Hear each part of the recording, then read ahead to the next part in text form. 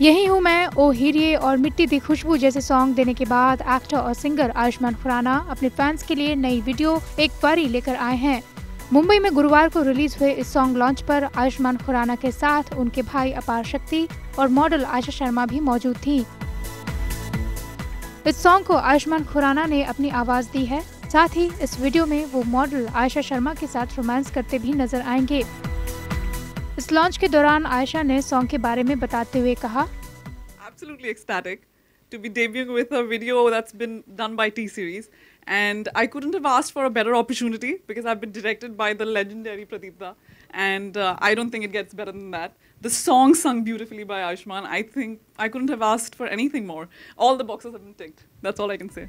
इस video song का direction superhit film Parineeta के डायरेक्टर प्रदीप सरकार ने किया है आई रिपोर्ट